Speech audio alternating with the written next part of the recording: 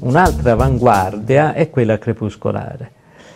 I crepuscolari esordiscono ancora prima, proprio le, le, prime prove sono di Govoni di Palazzeschi intorno al 1903 e mh, raggiungono risultati più maturi con eh, Gozzano e, e Corazzini.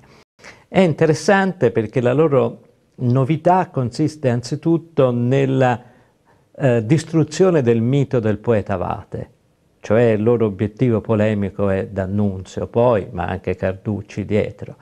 Alle pose di grandezza del poeta Vate, eh, i crepuscolari sostituiscono invece la predilezione per l'ombra, per il crepuscolo, per le piccole cose, per gli atteggiamenti dimessi, addirittura per una sorta di squallore, di squallore mh, eh, piccolo borghese.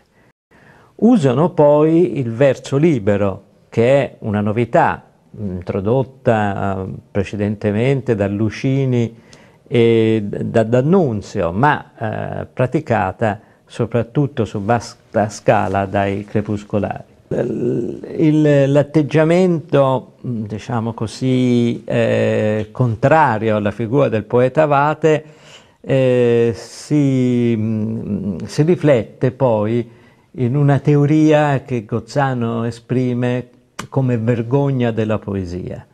Eh? Invece dell'orgoglio di essere poeta, questi scrittori si vergognano di essere poeti o dicono come Corazzini, so che per essere detto poeta occorrerebbe vivere ben altra vita e la, la, la, la vita che poeti possono vivere all'inizio del secolo è così misera che non ardiscono nemmeno definirsi come, come tali.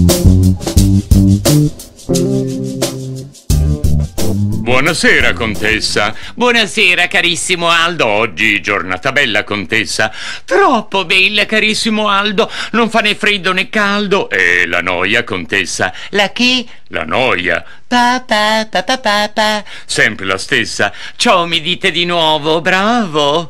Cosa dirvi di nuovo? Mi credete così ingenuo, nemmeno mi ci provo. Bravo. E passate per giovine bizzarro, per uomo tanto strano. Strano, bizzarro, bizzarro strano, bravo.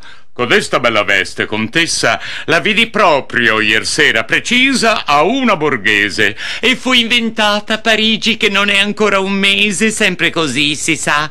A Parigi fumano l'oppio. A Parigi? Verrà presto la moda anche da noi. Certo, verrà. Poi, le belle cose da noi sono un mito. Noi siamo quelli di ieri o di poi.